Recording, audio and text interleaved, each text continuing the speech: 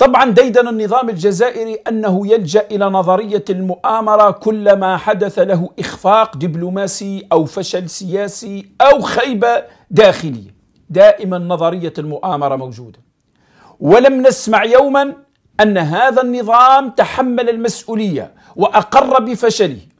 فعندما تكون لديك دبلوماسية معينة في توجه معين وتنقلب الأمور لغير صالحك بقدر ما تذهب إلى أن هناك جهات تتآمر عليك. على الأقل يجب أن تقر وتتحمل جزء من المسؤولية. هذه هي الأنظمة التي تريد أن تتطور، هذه الأنظمة التي تريد أن تفرض أوطانها، ولكن النظام الجزائري لا يحمل نفسه أي مسؤولية.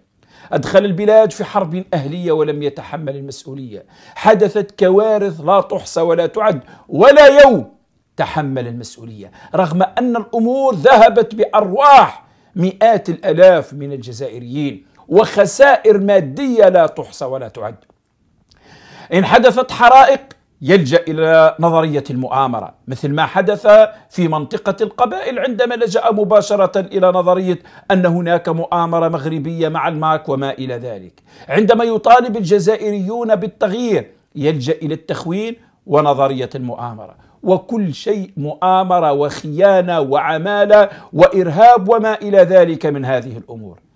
ألا يقف هذا النظام مع نفسه لحظة ويتساءل أين الخلل يا ترى؟ نعم هو سؤال جوهري. لا يمكن أن يكون كل ما يحدث للجزائر من سقوط دبلوماسي وتساقط سياسي وتراجع كبير. الجزائر غدت بلا قيمة بين الدول ولا قامه بين الأمم ولا قيم مع الجزائريين. يعني كل هذا يحدث فقط نظرية المؤامرة؟ ما هكذا تتطور الدول؟ وما هكذا يمكن أن تصل وتحقق مبتغاها؟ ولا هكذا تفرض وجودها في العالم؟ من المستحيل عندما تصير كل شيء مؤامرة.